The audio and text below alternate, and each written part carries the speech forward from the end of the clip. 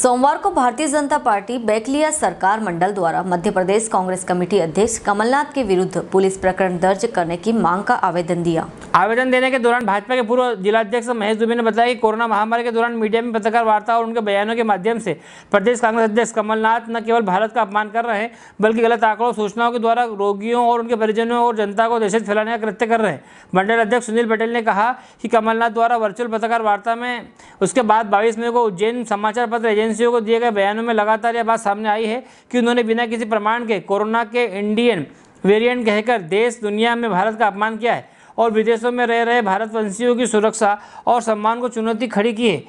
सरकार लाखों लोगों की मौत का आंकड़ा छिपा रही है, यह कहकर लोगों में दहशत फैलाए रहे हैं। सतपाल से सिंह की रिपोर्ट। हेलो फ्रेंड्स आप देख रहे हैं हमारा channel S W twenty four news हमारे सारे वीडियो सबसे पहले देखने के लिए आप हमारे चैनल को सब्सक्राइब करें और पास में लगे बेल आइकन को दबाना बिल्कुल भी ना भूलें।